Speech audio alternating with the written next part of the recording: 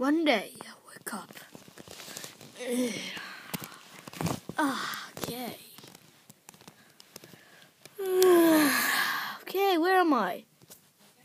I look outside. The door's open. What the hell? Scared B. The door's open. But who in my room? I must find out. But then I looked over here. I see one pillow.